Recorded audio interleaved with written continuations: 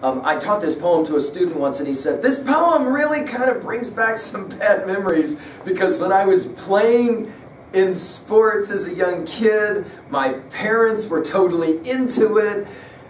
And we got to the very final moment, and I had the opportunity to win the game.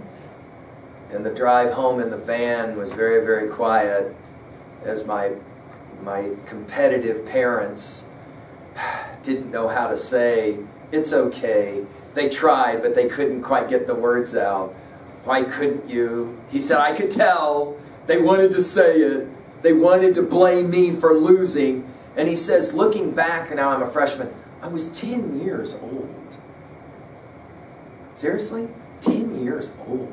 And I was put in this situation where I realized I was kind of like the loser and I let all these people down. And the minute that I missed, there were all the people and the groans, and he said, and my own parents, and he took them days before because we made it to the final game of this big tournament, and we were supposed to then win the tournament, and everything was set up for me to be the winner, and my friends, even for the next few days, treated me different. And he said, I still remember all this.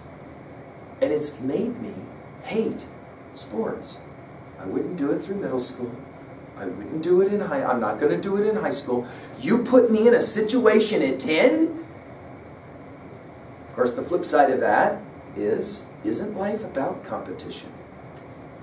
How do you go through li life living without some understanding of competition? We, of course, take, go all the way back to our stories of Homer and the Odyssey. In our Greek heritage, this is a huge part of how we define ourselves. You're, you got to do something that's competitive where there's a winner and there's a loser. A lot of my students say, I don't like that view of the world. I think there's got to be a better way to see the world. I'll leave that one up to you. Well, there you go. A very famous poem, and I'm happy that I got to share it with you. Casey at the bat. Thank you.